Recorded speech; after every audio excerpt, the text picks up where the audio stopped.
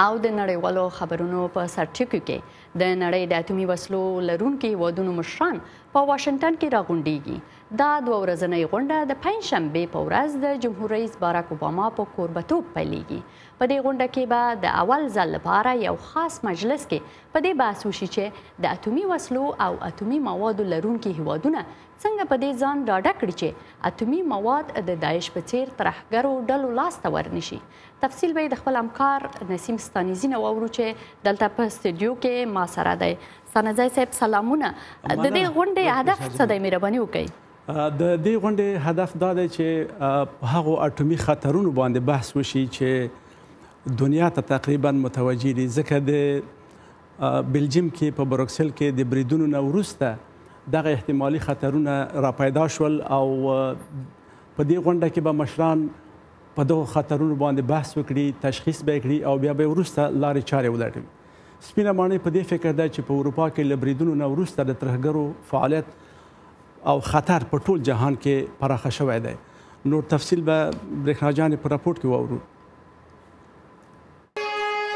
په بروکسل کې د ترهګرۍ بریدونو یو ځل بیا دا څرګنده کړل چې د اسلامي دولت په څیر ډلې څومره خطرناک دي او خطر څومره لري سیمو ته رسیدلی شي دا هغه خطر دی چې د واشنگټن د اټومي امنیت په عالی غونډه کې به په یو خاص مجلس کې پرې بحث وشي په دې غونډه کې به په پراخو خطرونو باندې تمرکز وشي خو څرګنده ده چې د داعش په څېر ډله باید په هېڅ ډول اټومي موادو ته لاسرسی ونه لري.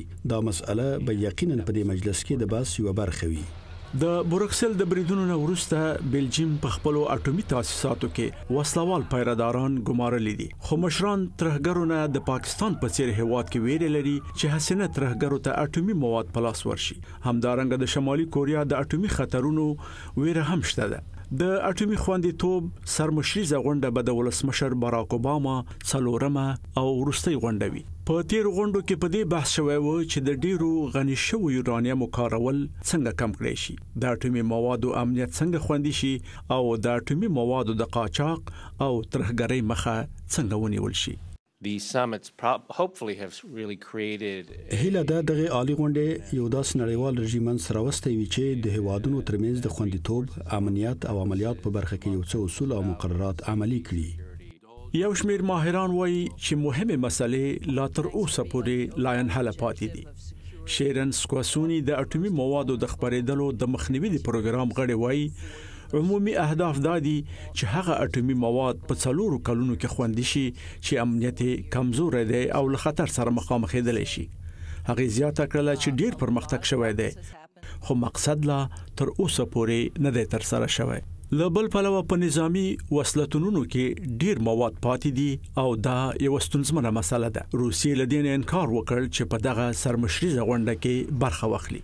د روسیې او چین حکومتونو په دې پراخه کاري اجندا کې ځان نه دی شامل کړی. په حقیقت کې هغوی فکر کوي چې خپلې اټومي جبه خانې په یو داسې سرعت پراخې او عصري کړي چې په غرب کې له بل هر هیواد نه تفاوت لري. کله چې د نوي کال د جنوري په میاشت کې په متحده ایالاتو کې نوی ولسمشر وټاکل شي، نو یوه پوښتنه به دا وي چې بیا به څه کېږي؟ زه یقیناً هیله من یم چې راتلونکی ولسمشر به په دې پوه وي چې په نړۍ کې د اټومي موادو خوندیتوب ته د ملي امنیت په ترجیحاتو کې د اولیت حق ورکړي.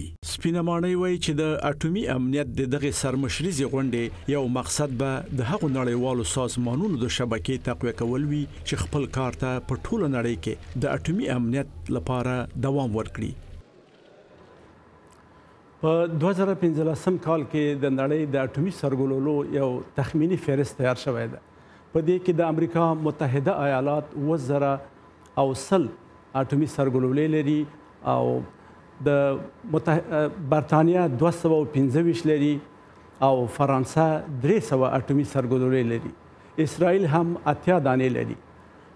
پاکستان یو سلو شل لري او هند هم یو سلو شل دانې اټومي سرګلولې لري.